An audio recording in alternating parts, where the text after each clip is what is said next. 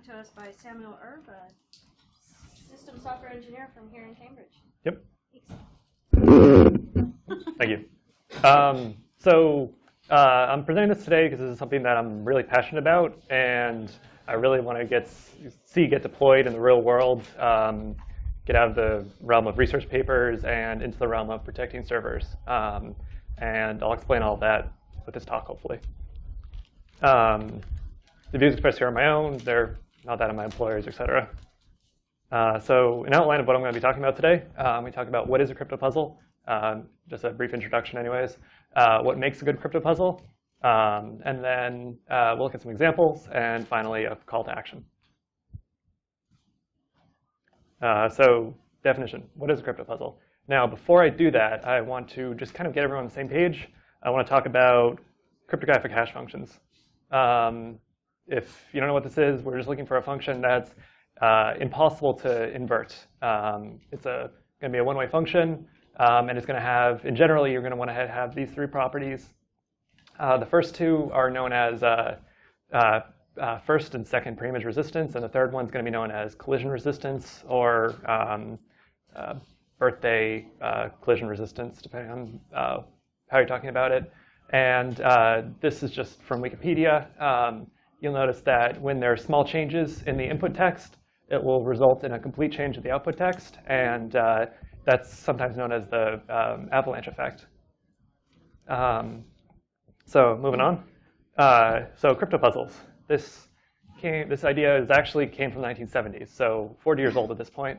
Um, this was first uh, kind of, uh, I guess say, introduced in 1974, actually, um, or thought of in 1974 by uh, Ralph Merkle, who uh, wrote about this for an undergraduate project, actually. And uh, the idea is that you have um, some sort of uh, puzzle that's, uh, uh, or cryptogram that's meant to be broken. Um, and there's going to be a set amount of effort, or required amount of effort in order to break it. And the only way to break it is through um, brute forcing or trying every possible combination until you reach some um, goal state. Um, and so uh, just taking a bit of a aside first, uh, we can actually look at how uh, Merkle used crypto puzzles in this paper. Um, and so the idea is that uh, Bob will generate a large number of puzzles as well as their solutions, and then send those over to Alice. Alice will solve one of those and then send back some encrypted text using that solution. Bob knows what all the solutions are, can just try all of them and see which one decrypts uh, what Alice sent over, and then they have encrypted communication. Now, this was 1974. This was two years before um, Diffie-Hellman wrote their paper on um, public key crypto, and one year even before uh, the British government claimed to have invented it. Uh, so if we uh, look at, um, I should say the paper that he actually wrote on this wasn't published until 1978, but it was based on his idea from 1974. Um, if we look at uh, attacker's best attack on this, it's to simply spend as much time as Bob spent generating all those puzzles to uh, solve all of them. And uh, this disparity in the amount of work that Bob and Alice has to do was uh, arguably pretty revolutionary for the time. Um, and so Alice here gets to use less information, or sorry, less, ener or less energy uh, than an attacker or Bob, and uh, there's no pre-shared information uh, before this um, communication starts. Um, so uh, defining crypto puzzles a little bit more formally, uh, we're going to look for a um, uh, some uh, x value, which is going to be a message uh, as well as a random nonce, uh, where a hash of um, a cryptographic hash of that x value is going to be equal to y, where y is going to be less than some difficulty q. And we're going to say q can be adjusted to make a solution more or less difficult. And in general, the message can't be changed. So our only way to solve this is to guess what the random nonce value is. Uh, so we're going to try a bunch of these. And after a set number of guesses, odds are the probability you're going to find a solution. And um, for the rest of this talk, I'm going to be uh, trying to identify what makes a good hash function here. And then we'll look at some examples. Uh, this is also um, sometimes referred to as a proof of work, which is one place you might have heard this, this heard this before uh, in relation to uh, Bitcoin or other cryptocurrencies.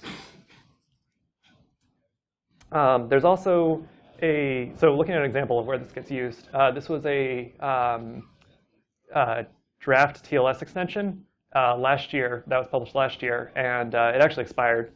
Um, it wasn't accepted. Um, so it's not going to be deployed anywhere, but it's interesting in that it can kind of show how this can work with something modern like SSL. Uh, so the server, uh, in this case, is going to pick some random value x, and the client is going to send over uh, an empty ex extension saying, hey, I support client puzzles. The server is then going to send back a, um, a hash of that x value, which we're going to say is equal to h, and then we're going to set the first um, n bits of that to 0 and send that over as well. Where our difficulty in this case is going to be n. The client in this puzzle solution response is going to try and find some y value where a hash of that y value is, uh, when, when combined with um, that uh, h prime that uh, the server sent over is equal to h. So it's looking to fill in those uh, empty bits or um, those n bits sent to, set to zero with uh, uh, with the uh, output of a hash function, which in this case the um, uh, is SHA-256. Uh,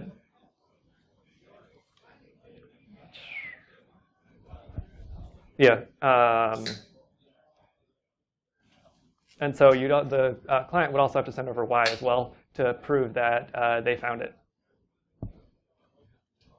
looking at another example, this is just a recent uh, Bitcoin block. Uh, so this is thinking in terms of a proof of work function. Uh, the um, when we're talking about uh, Bitcoin mining, so to speak, it's going to be effectively just guessing a random nonce value here and trying to identify a hash value uh, with this number of zeros at the start of it, um, where that number of zeros is going to be the current uh, network difficulty of the Bitcoin network. And one of what makes this kind of amazing is that uh, I actually did the uh, looked up uh, how long it would take uh, my video card to calculate or to find a hash value with that many zeros at the start of it, and it was on the order of 10,000 years, which is kind of crazy.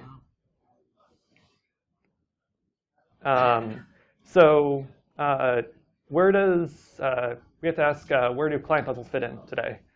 we want to use them as a way to protect servers. Uh, this really should not be the only way. Um, it should just be another tool in our toolbox. Uh, there's um, a bunch of other stuff we should do as well uh, to prevent ourselves from uh, uh, prevent a denial of service attack. But um, yeah, this is from a just a survey of new attack method or new um, detection and mitigation techniques. Um, so pretty much what I just said. Um, and it's been proposed in a few places. Uh, the draft I talked about earlier, as well as a new cryptographic protocol called uh, MinimaLT. Um, not sure if I'm saying that correctly. Um, so it's an idea that gets floated very often, but uh, doesn't get implemented very often. All right, so now that we know what a uh, CryptoPuzzle is, uh, we're going to look and see what can make a good crypto puzzle.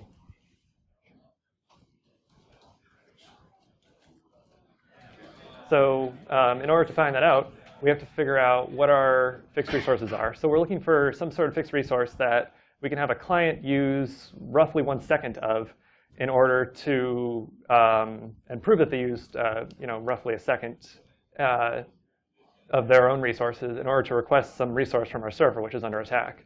So we have an end user's time, which could be a CAPTCHA, for instance. Uh, and we could use their CPU resources, where um, you know we're looking at um, uh, like SHA hashes per second. We have memory where we can exploit uh, or utilize the client's uh, late memory latency or bandwidth. Uh, we have disk space. Um, one interesting thing here is that uh, proof of space is actually a thing. Um, I don't think it's a great thing though because it's a pretty finite resource on a client, the number of, um, in terms of the number of writes that they can do. Um, so it might not be the best thing to use. And then we have uh, their uh, network bandwidth. which is going to be a finite resource for them, which we're trying to prevent a DOS anyways, so it kind of isn't great there. Um, and then we could also say that um, power could be a finite resource, but any of these are already wasting power anyways. Um, so just a quick comparison. Uh, so sorry, going back to the previous slide. So for this, the remainder of this talk, I'm going to really focus on uh, wasting the wasting the client's uh, CPU uh, and uh, memory resources, which is why the red arrows are there. So uh, comparing our comparing, um, so I went ahead and compared the computational speed of my phone, computer, and video card. my computer, in this case, was uh, eight times faster than my phone, and my video card was uh, 188 times faster than uh, my phone. And this is just calculating uh, SHA hashes.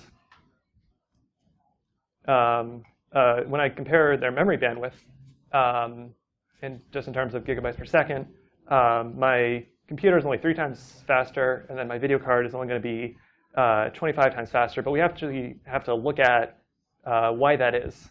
Um, and uh, I think we can get that number potentially even lower. Um, but uh, if one other good comparison here would be latency, and you would see uh, the phone and CPU being roughly the same, and then uh, the GPU would probably be um, actually even, would likely have less latency due to the technology involved, which I'll talk about on the next slide. So GPUs, um, since we're uh, targeting uh, uh, end user's computer, um, about uh, I think it was a uh, one third of all uh, personal computers will have dedicated processing or dedicated graphics cards on them. So um, we have to find some way to address that such that uh, we can, we're looking, so we're not looking to um, completely prevent somebody from using a graphics card to solve a client puzzle faster. We're just looking to make that uh, more equal with my phone, for instance. Um, and so one way to, uh, uh, so like an example approach we can use here is we can uh, uh, exploit memory latency, which is going to be about twice as high on a video card than it is due to the um, than it is on a computer or a phone, just simply due to the technology involved. Um, and yeah, a graphics card is literally just a massive parallel computer. Um, it's probably the best way to think about it. Um, so this is a bit of a basic slide. Um, so comparing uh, memory versus uh, CPU, once again, uh, or processor speed. Um, this is, if you've ever taken a computer architecture course, you've probably seen this image. It's going to be in the first chapter of kind of the classic computer architecture book. And I don't really feel like it tells the whole story of uh, processor versus memory speed. Um, in the past uh, decade, obviously, it shows that processor speed has stayed roughly the same. Uh, however, in that time, it's become more and more parallel, as well as uh, more complex instruction sets. Uh, whereas memory speed, um, for example, comparing uh, DDR1 and DDR4, you're only going to get like a, I think it's like a 10x speed up. Um, one other thing we have to look at is uh, the cost of all of this. Um, when we're talking about cost in crypto, uh, there's obviously going to be some point where we could just pay somebody to drive a uh, forklift through the data center or something. Um, but uh, if we're looking at uh, personal computers, somebody's going to be paying for uh, when they buy a computer, they're going to buy a CPU and memory. So we're going to say those are roughly equal. Um, there's uh, something else we have to consider, though, is that uh, somebody could, if we if we implemented this today, somebody could go ahead and implement or create a custom circuit for solving this. And uh, that's something that can't really be avoided, but we could drive up the economic cost for that. And that cost is kind of divided into two separate things, something called um, so ASIC stands for uh, Application Specific Integrated Circuit. Uh, and so we're trying to drive up the cost of that. Uh, uh NRE is going to be our um, uh, non-recurring engineering cost, which is going to be like the production cost. Uh, and we could say that interfacing with a uh, memory controller, uh, we're probably not going to design our own memory, so we're probably going to be interfacing with some existing memory, is going to be more expensive than, likely going to be more expensive than designing our circuit, but maybe not necessarily so. And uh, what's interesting is that somebody actually developed a cryptocurrency uh, around this, which required, I believe, was six separate uh, hash functions uh, in order to, um, and one of the benefits they claimed was that uh, production costs would be higher, uh, which is probably true. But when we look at production costs, when you're um, talking about uh, application-specific engine, application-specific uh, integrated circuits, the um, uh, the amount of uh, or the cost of any board is going to be in terms of the size that it uses.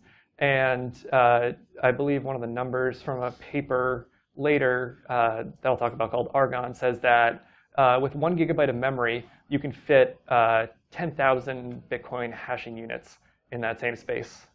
Um, so in this case, uh, you're also going to be have to have some sort of external supplier of memory. So your cost there will be significantly higher. Um, and it's what we're trying to avoid. This is on the right there is a Bitcoin warehouse or a warehouse that's dedicated to computing SHA hashes, which is kind of insane. Uh, all right, so um, uh, so why sequentially memory hard? Um, if we have a sequentially memory hard hash function, uh, we have another parameter to affect difficulty. Um, this is something I didn't really touch on earlier as much, but uh, it's uh, beneficial. Um, the uh, discrepancy between memory technology on modern devices is a lot lower than CPU technology, and the cost to design or produce custom hardware will be um, greater in algorithms requiring any variable amount of memory. Um,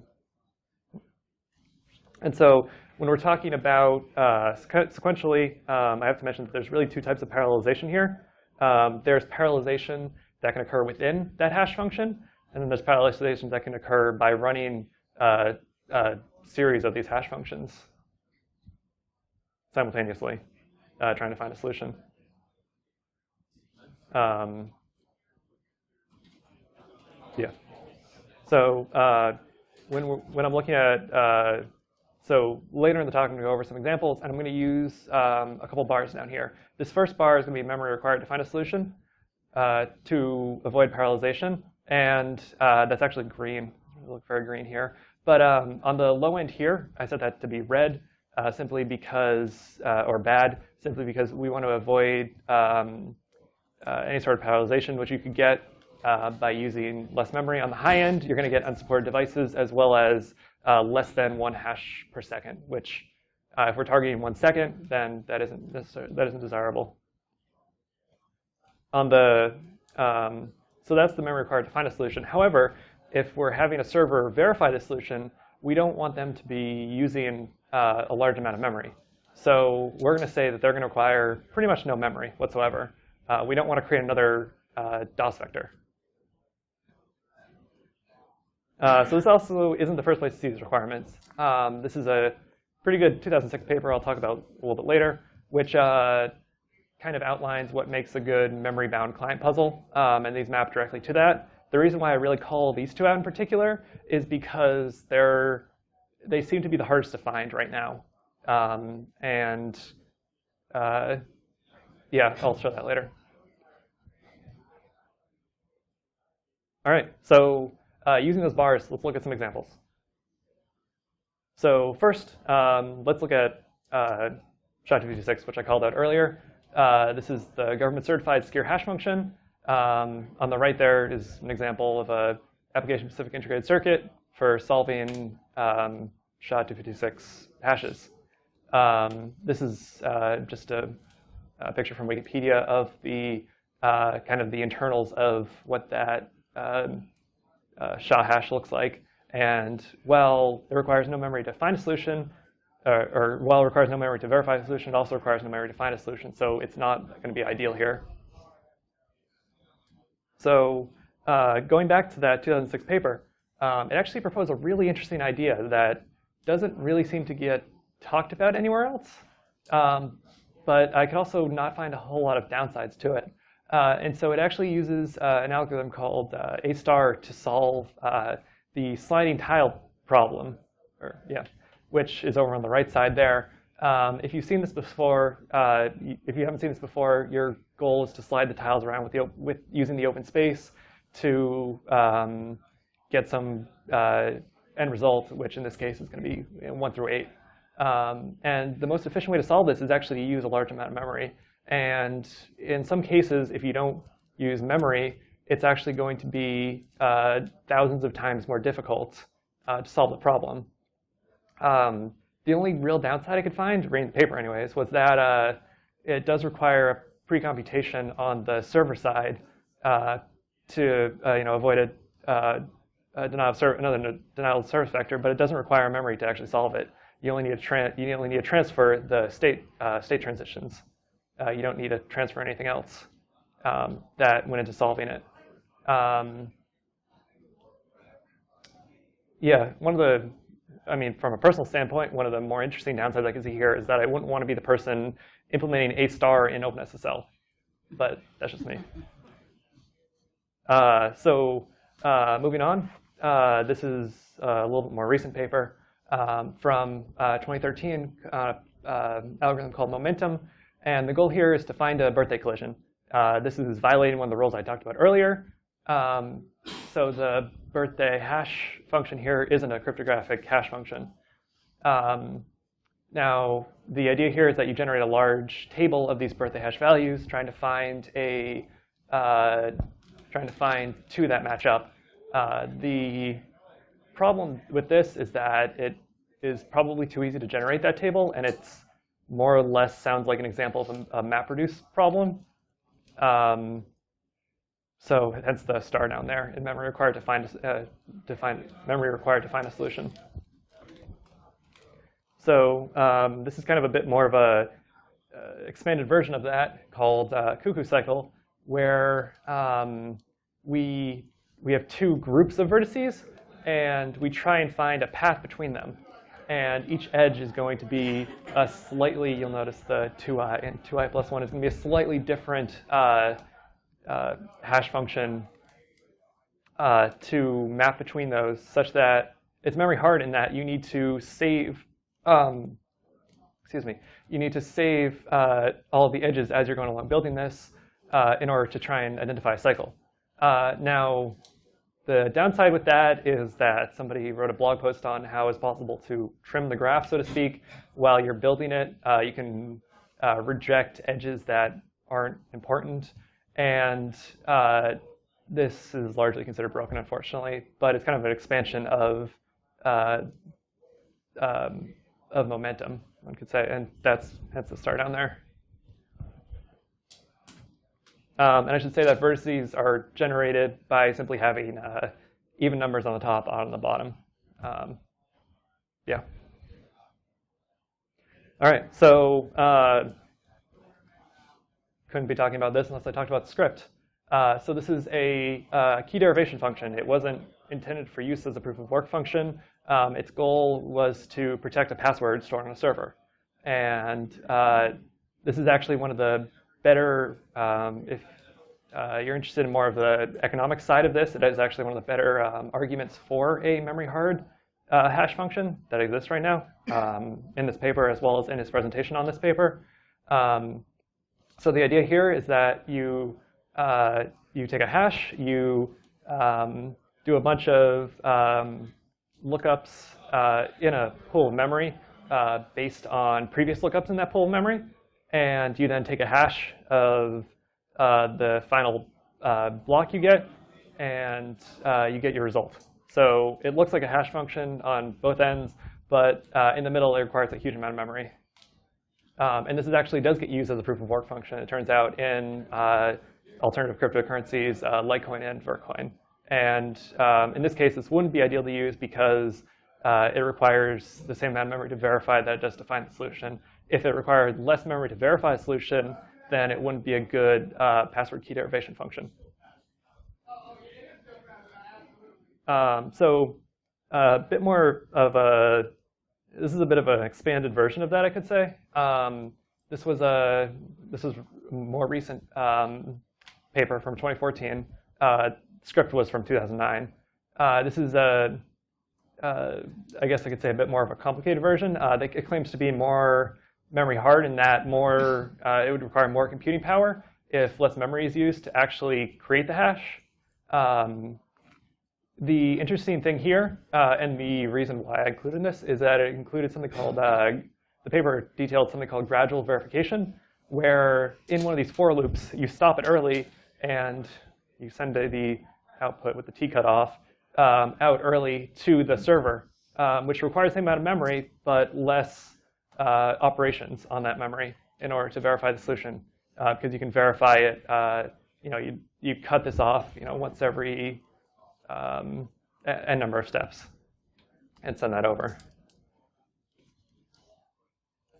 Um, so this brings me to what I'm really excited about. This is something called Argon 2, and this paper actually came out this week. Uh, this, which makes this talk perfectly timed.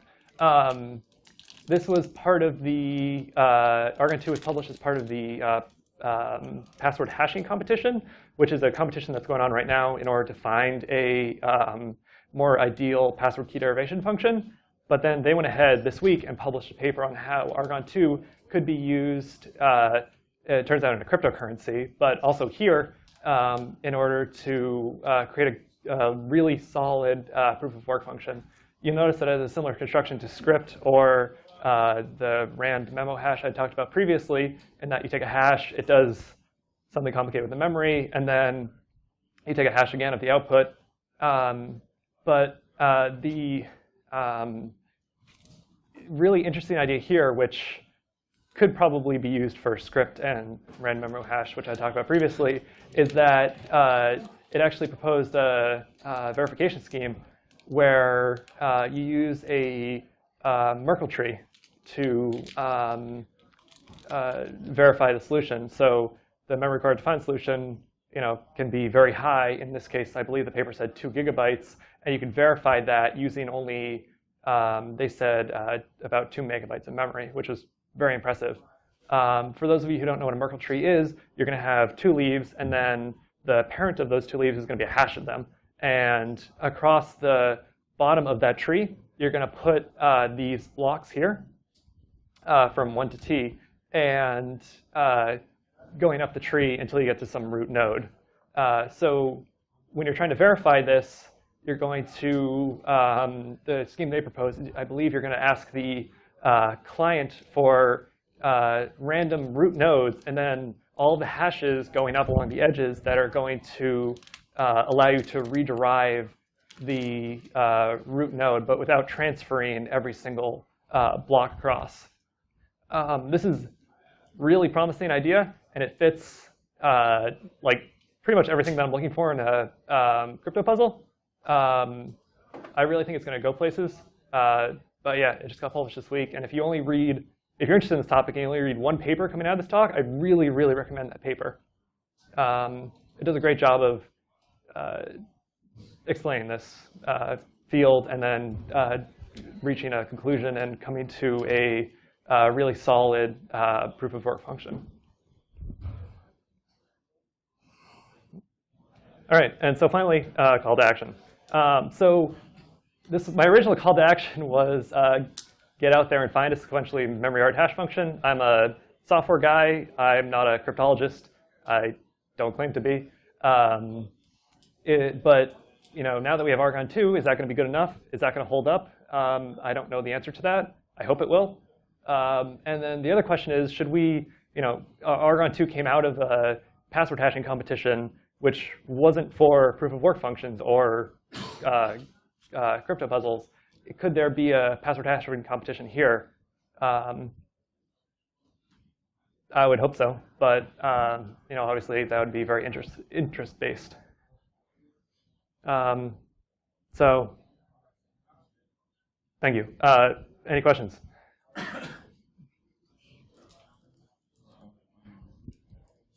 Um, it's not immediately clear to me um, what the difference is between crypto puzzles as a general concept and all the password cracking uh, cracking work that's you know that's been going on for a long time. Can you expand on that a little bit, or are they really more or less equivalent?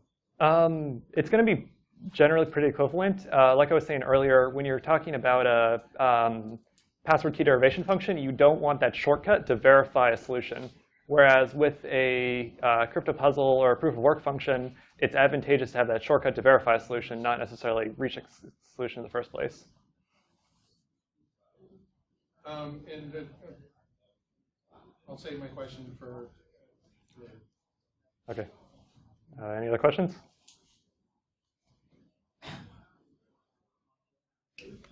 All right, so suddenly it's later. Uh, one of the things that I think is interesting about, you know, the, the password hash problem, at least classically, was the notion of using rainbow tables. Yep. And you talked about like the sliding tile puzzle. Yep. Are there rainbow table cracks that are roughly equivalent in the crypto puzzle arena as well? I think so. Um, the paper outlines a way to avoid that, I believe. That's something I'm really not an expert on at all.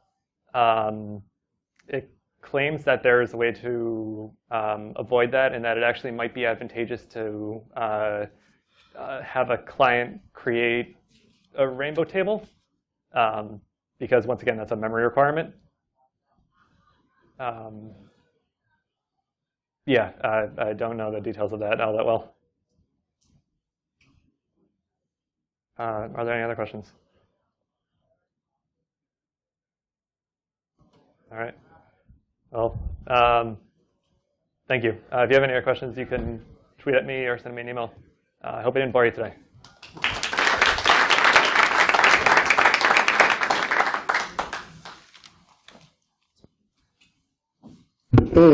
Just a reminder as we go into closing remarks, uh, evaluation forms, if you fill one out, you enter to win for